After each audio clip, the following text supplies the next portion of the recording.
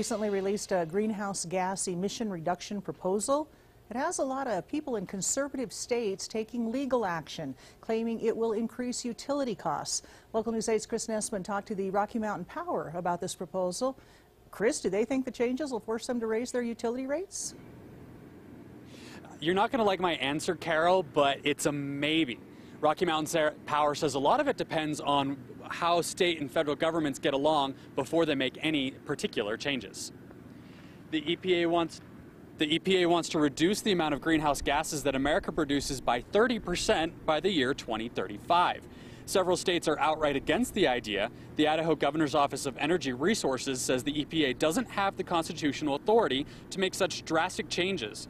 Rocky Mountain Power says they want flexibility that will allow them to meet the EPA's demands without having to dramatically raise consumer rates. We think a lot can be done through cooperation, and uh, so we're, we are hoping that reasonable minds can come together to try to keep electricity costs down and try to reduce the carbon emissions going into the air. Now, we also talked to the governor's office of energy regulation, and they said that they said two things with regards to these EPA proposals. First off, the Idaho's carbon emissions are some of the lowest in the country, and we shouldn't have to reduce our rates as much as other states. And secondly, they said if the EPA does want to continue, that they should allow Idaho to build on federal land the infrastructure that's needed.